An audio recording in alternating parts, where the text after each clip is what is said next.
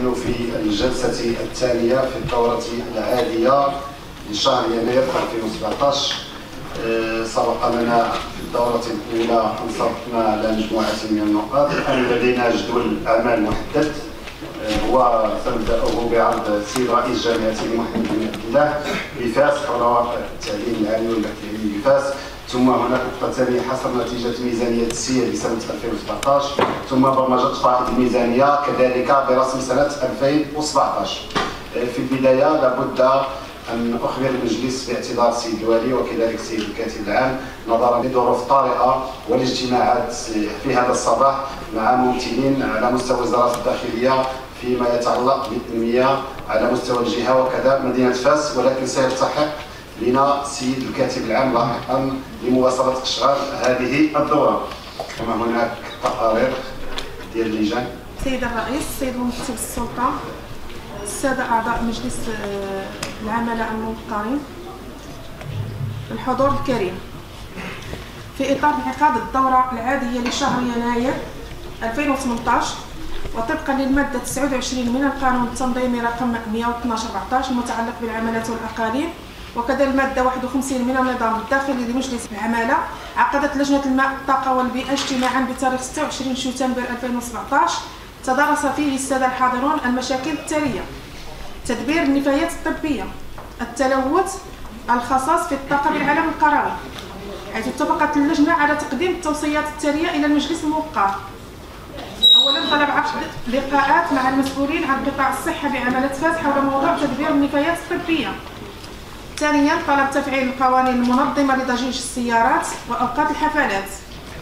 ثالثا عقد لقاء مع مديرة الحوض المائي لسابو حول جفاف بعض العيون بجماعة عين بيضاء ونقص مياه حمام سيدي رابعا النظر في إمكانية استفادة الدواوير المجاورة للمطرح العمومي المتواجد المتواجد بتراب جماعة عين بيضاء من الطاقة الكهربائية المستخرجة.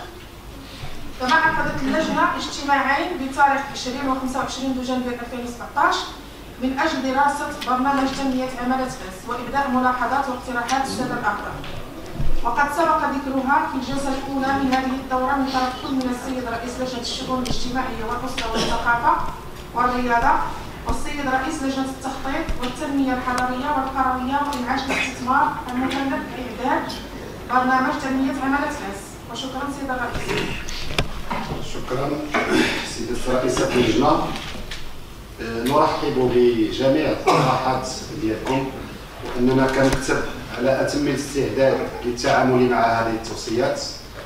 كما سبق لنا أن استجبنا للكثير من المطالب ديالكم وكذلك للجان الاخرى سبق للسيد الدكتور حميد فتاح أن طلب في إحدى الجلسات بموافاة جميع الأعضاء بالاتفاقيات التي صدقنا عليها. يعني يكون عندنا واحد الطابل واحد الطابل الدور أن من باش نعرفوا الاتفاقيات يصدق عليها المجلس خلال مدة امتداد 2016 2017 الآن استجابة لهذا الطلب تم الترتيب ديال هذه الاتفاقيات حسب السنوات وحسب تاريخ المسابقة على كل اتفاقيه وهي الآن بين أيديكم في الملف يعني ضمن محتويات الملف. لا سنه 2016 12 اتفاقية. ولا سنة 2017 بما فيها الملحقات كاين 14 اتفاقية فهي موجودة بين أيديكم وهذا استجابة كذلك إلى توصيات هذه اللجنه فتوصيتكم بطبيعة الحال من تذهب وسنستجيب لما يمكن أن نستجيب له. وشكرا تقرير رئيس اللجنه المالية بالنيابه السيد حداد. السيد الرئيس السيد ممثل السلطة الإخوة الحاضرين. تقرير حول اجتماع لجنة الميزانية والشؤون المالية والبرمجة المنعقد يوم الثلاثاء 16 يناير 2018 وهي الجلسة الثالثة.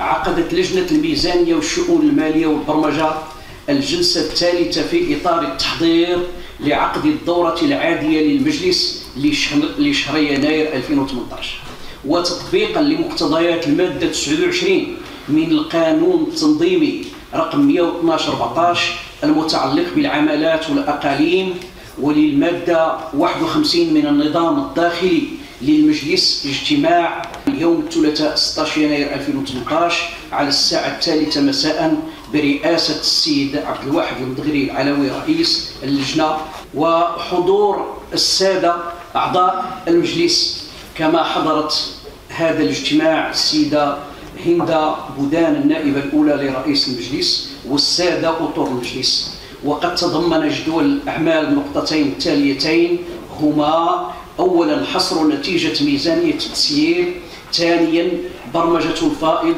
برسم ميزانية 2017 في مستهل هذا الاجتماع رحب السيد رئيس اللجنة بالسادة الحاضرين وشكرهم على الحضور. وهذه اللجنة الثالثة تأتي في إطار سلسلة الاجتماعات التي عقدتها هذه اللجنة لدراسة مختلف النقاط المدرجة في جدول أعمال الدورة العادية لمجلس عمالة فاس لشهر يناير 2018 النقطة الأولى حصر نتيجة ميزانية التسيير لسنة 2019 في البداية قدم للسادة الأعضاء توضيحات بخصوص نتائج حصر ميزانية التسيير لسنة 2017 التي قدر مبلغها ب 14 مليون و 774 ألف و 849.15 وقد أبدى السادة الأعضاء موافقتهم على هذه النتائج. النقطة الثانية برمجة الفائض برسم ميزانية 2017 قدم السيد الرئيس في بداية دراسة هذه النقطة توضيحات بخصوص الفائض القابل للبرمجة والبالغ قدره. 14 مليون و774 ألف و849 درهم والذي رصد لمشاريع متعددة ونوقش بندا بندا وبصفة مدققة وأبدى السادة الأعضاء ملاحظات واقتراحات حول المشاريع المعنية بالبرمجة. وهو ما يمكن إجماله فيما يلي. دعم النقل المدرسي ببعض الأحياء مثل بن سودة ودوار الريافة وقد راعت اللجنة نوع من التوازن بين الجماعات المكونة للأعمال الالتفات إلى دوار الحاج ليس الذي كان محسوبا على عالم القروي ثم ألحق بالمجال الحضري لمدينة فاس. موجود في مقاطعة المارينيين إذ ما زالت ساكنته المقدرة بحوالي 1500 نسمة تعاني من انعدام الإنارة العمومية التي كانت تستفيد منها حين كانت تابعة لجماعة عين الله. ضرورة دعم هذا الدوار في إطار برامج المبادرة المحلية للتنمية البشرية. التأكيد مرة أخرى على ضرورة رفع التوصية المتعلقة بتعديل المادة 194 من القانون التنظيمي 112 14 المتعلق بالأقاليم والعمالات والمتعلقة بحصر الميزانية في 31 يناير من السنة الموالية في حين أن الدورة العادية لشهر يناير كما ينص المشرع تعقد وجوبا في الاثنين الثاني من شهر يناير الأمر الذي يجعل الحصر النهائي لميزانية التسيير متأخرا عن انعقاد الدورة.